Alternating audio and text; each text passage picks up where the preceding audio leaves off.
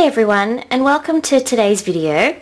Um, I get asked a lot to clarify how materiality and inherent and control risk are related. So I'm going to use uh, a little diagram here to try and explain. So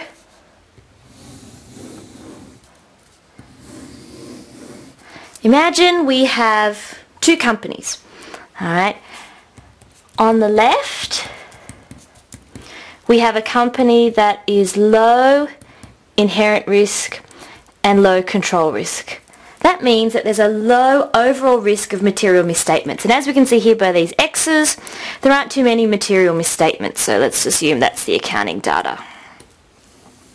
Okay, on the right hand side, we're going to have a company that is high inherent risk and control risk. And when there's high inherent risk and control risk, we know that there's a much greater possibility of material misstatements.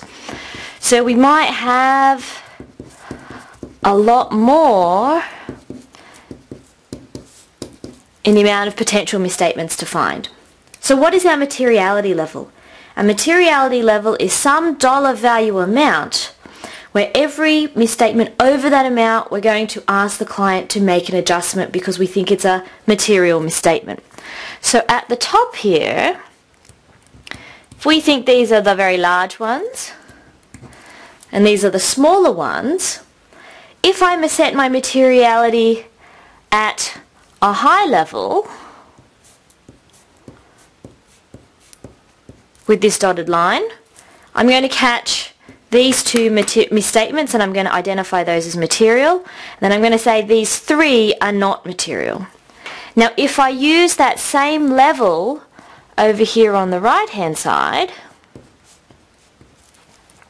I'm still going to identify more misstatements, but there are potentially a lot more misstatements in the remainder of the financials. So in a high inherent risk and control risk situation, I'm going to lower my materiality level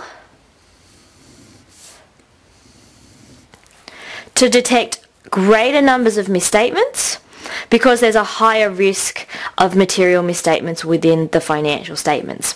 So that's the reason why when we have low inherent risk and control risk, we have a higher level of materiality in comparison to where inherent risk and control risk are high.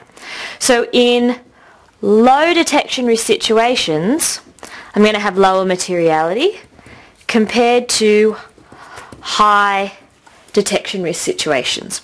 So my materiality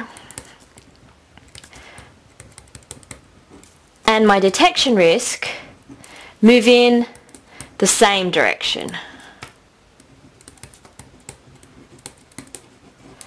Whereas my detection risk and my inherent and control risk move in opposite or inverse directions. So this is the reason why when there's higher levels of risk we drop materiality down to allow us to detect more material misstatements.